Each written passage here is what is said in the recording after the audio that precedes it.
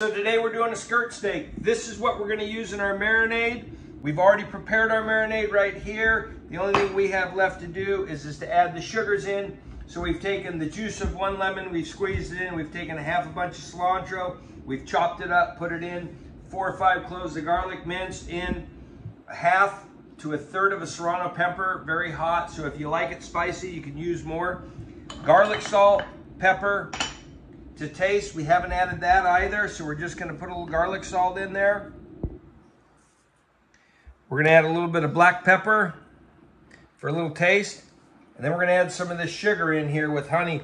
I prefer to use honey just because of, I think it's a, it's a healthier type of sugar because of its natural.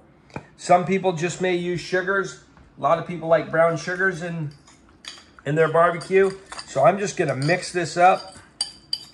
This is a pretty coarse way. The other way you can do it if you want to cheat a little, you can just dump this right into a blender, blend it, and get going that way there. Of you probably already know this.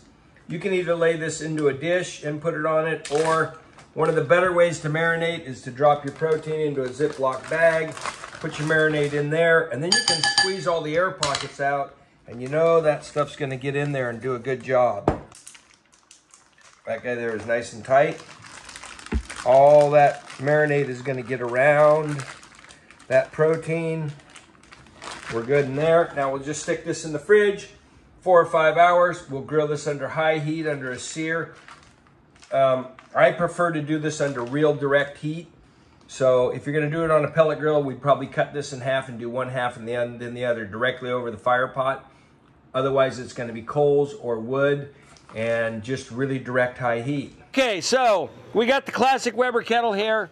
We're burning down this wood here. I put some almond wood on instead of charcoal. I like cooking over real wood. We're gonna burn this down to a nice bed of coals. Then we'll show you how we're gonna sear that skirt steak down. We'll let it stand, we'll cut it, it'll be delicious. Stand by. All right. Interestingly enough, we have similar sized pieces of wood here, but one thing you're gonna notice, take that one, feel it. Okay, similar size pieces of wood. Feel that one. Which one's heavier? That one's by a long shot. I know, that's what I was saying. It just uh, okay. even feels the same. Hence the name Waddy, Knotty Wood is because of when you have trees and you have all these pieces coming together, the minerals collect where the knots are. So it's a much denser piece of wood. But it's also why you guys will find that clinker when you're done barbecuing in your fire pot, because that fire pot is that controlled space where when you're in coals like this, you'll never see that clinker because all those little minerals are spread throughout the ashes. But when you burn it in that controlled chamber, there's nowhere for it to go. It's all there.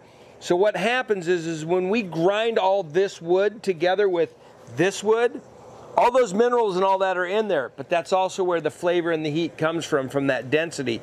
You won't get this kind of heat with other woods like alders and things like that because of we have so much better density here. So anyhow, I just wanted to kind of show you what that difference is. Is This is where the minerals are going to collect, is where those knots are. Hence, it's a lot denser piece of wood, a lot heavier. Okay, so when you're looking at this fire, you can see some light, whiter smoke coming off. That's that dirty smoke. This, in my opinion, is really what makes offset stick burners and direct heat like this that just that tick better than what you can get out of pellet because of we don't get that mixture of this dirty smoke mixing with clean smoke to kind of give you a blended flavor of the different smokes. And what the dirty smoke is, what we've talked about in the past, it's that it's that cellulose material as it's gasifying and turning over, it's wanting to catch fire, but that dirty smoke, it's it's in the process of gasifying, and as it comes up, it catches fire. But that dirty smoke, if you use too much of it, leaves a bitter taste because of its dirty smoke. And it also is highly carcinogenic. So we want the clean blue smoke. But this is why you get a little different flavor profile off of stick burn or indirect heat because you're getting a mixture of all that stuff going in there.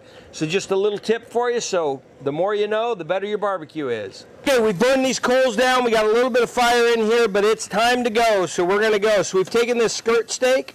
I've actually put it in the freezer for about the last 20 minutes to get that core temperature down. Because of this is thin, I want a good sear, but I still want it rare. So I'm gonna put that on there. We're gonna get that sear going.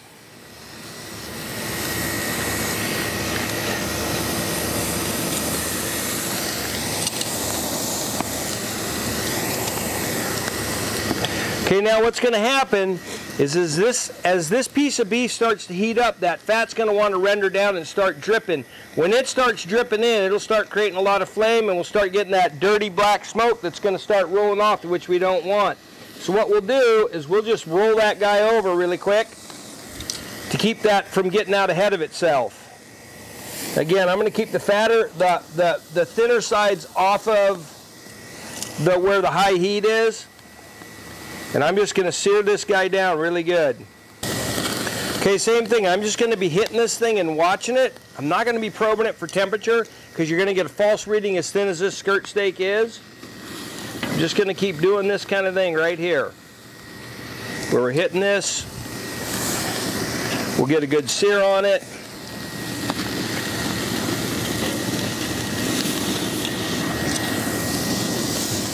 Okay, now you can see that fat rendering down where that thing's really wanting to catch fire.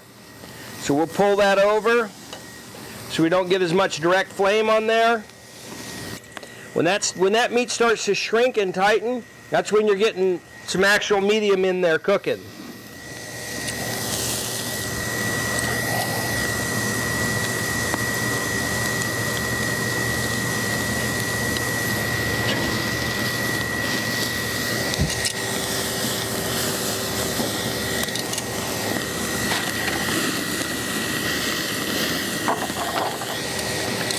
We're just about there. We're not going to go much longer with this guy before we pull it off and let it stand. I'm going to hit it one more time on this side for just a few seconds. And that's about it. I'm going to set that in there. I'm going to choke my fire down here.